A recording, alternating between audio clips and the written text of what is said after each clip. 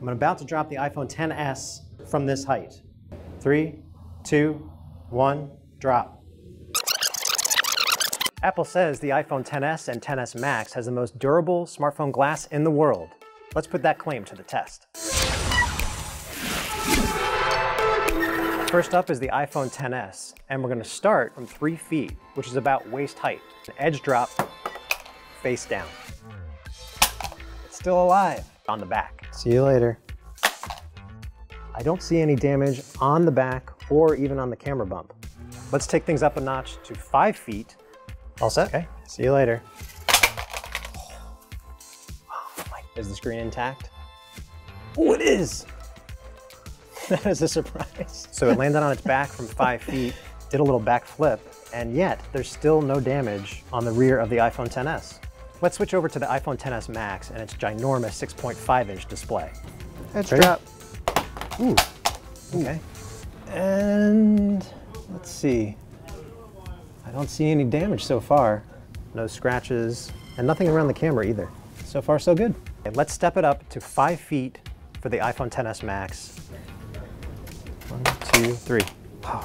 It sounded promising. All right, I'm not saying that you shouldn't get a case, but the iPhone XS Max easily survived a five foot drop. How about 11 feet or thereabouts? Look how high we are right here.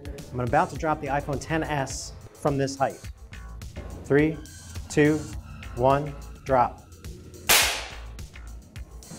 If this did not crack, nothing will ever crack it. Oh my, uh, now it cracked. Top corner, you can see it looks like there's a, a wayward pixel right there. Yet amazingly, no other cracks. 11 feet. How about the even bigger Max? Three, two, one. Surveying for damage. Whoa, nothing. So apparently nothing can kill the iPhone XS Max, but how about a drop from over a story tall on its face? Or at least we're gonna try. Ready? Three, two, one. Oh! Oh, it's dead. But after dropping over a story, this is what kills the iPhone XS Max. A super long drop on its face. Cracks everywhere, but think about all the torture we went through to get here. So if you're in the market for a very durable smartphone, I think the XS and the XS Max will impress you. For Tom's Guide, this is Mark Spoonauer.